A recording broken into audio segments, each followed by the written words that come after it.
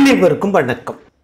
இந்தியாவில் பயணிகள் போக்குவரத்திற்காக பயன்படுத்தப்படும் பேருந்துகள் விமானங்கள் கப்பல்கள் என மூன்று படைகளும் தனியாருக்கு தாரை வார்க்கப்பட்டிருந்தாலும் இதுவரை ரயில்வே துறையை மட்டும் தனியாருக்கு விடாமல் இருந்து வந்தது இந்திய அரசு. தற்போது அதற்கும் முற்றுப்புள்ளி வைத்துள்ளது மத்திய அரசு.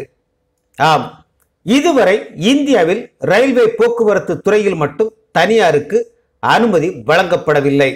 குறிப்பாக ரயில்வே அமைச்சகம் ரயில்வே பட்ஜெட்டை கூட தனி பட்ஜெட்டாக தயாரித்து அந்த போக்குவரத்து சேவையை மேற்கொண்டு வந்தது.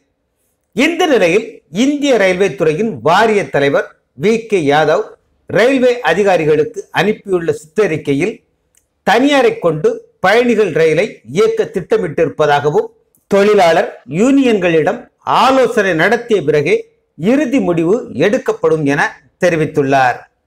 இந்தியாவில் பிரதான போக்குவரத்தாக திகழும் ரயிலில் ஒரு நாளைக்கு பல கோடி பேர் பயணம் செய்கின்றனர். அத்தோடு பெரும்பாலான சரக்கு போக்குவரத்தும் ரயில்கள் மூலமே நடத்தப்படுகிறது. அந்த வகையில் இந்திய ரயில்வே துறைக்கு ஆண்டுக்கு சுமார் இரண்டு லட்சம் கோடி ரூபாய் வரை வருவாய் கிடைத்து வருவது குறிப்பிடத்தக்கது. இதனால் இன்னும் ரயில்வே துறையை விரிவுபடுத்தவும் எதிர்காலத்தில் மேலும் பல பல புதிய வழித்தடங்கள் அமைத்து வருவாயை பெருக்கவும் முடிவு செய்துள்ளது மத்திய அரசு.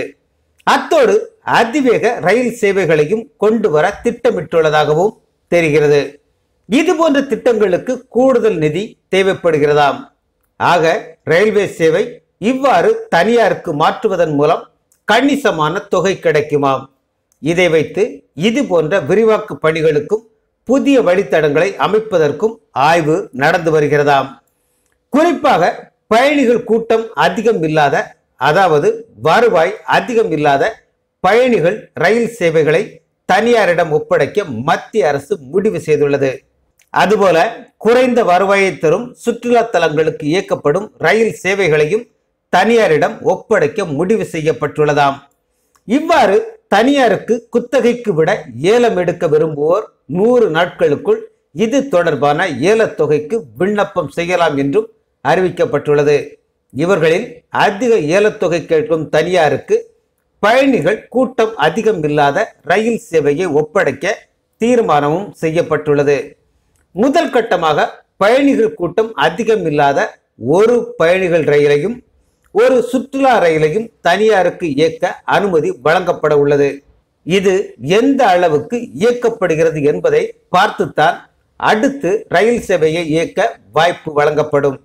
அந்த தனியார் சேவைதாரர் அந்த ரயிலுக்கு புதிய பெயரை சூட்டிக்கொள்ளலாம் ரயில் இன்ஜின் மற்றும் பெட்டிகள் வாடகை அடிப்படையில் தனியாருக்கு வழங்கப்படும் என்றும் கூறப்பட்டுள்ளது.